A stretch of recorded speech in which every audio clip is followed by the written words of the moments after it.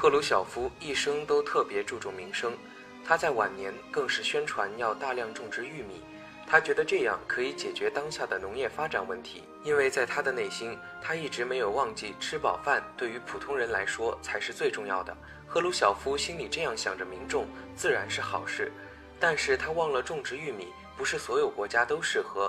西伯利亚虽然地广人稀，但那毕竟是冻土区，温度和阳光都不能达到种植玉米的需要条件，以至于播下的种很多都没有收获。于是赫鲁晓夫也因为种植玉米的事多了玉米棒子、最后的玉米机等等好多外号。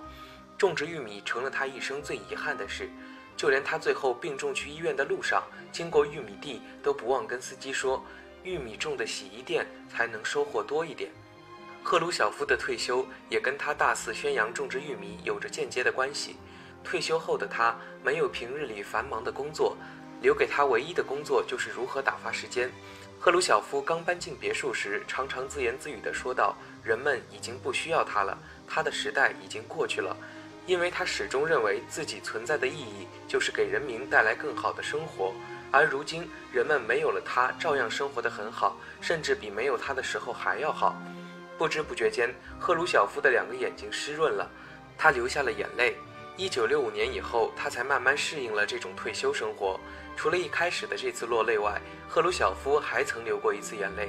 那是他在家中的时候，无意间看到了一名侍卫胸前佩戴着一枚很独特的徽章。侍卫说，这枚徽章是为了纪念卫国战争胜利二十五周年，每个参加过战争的士官都发了一枚。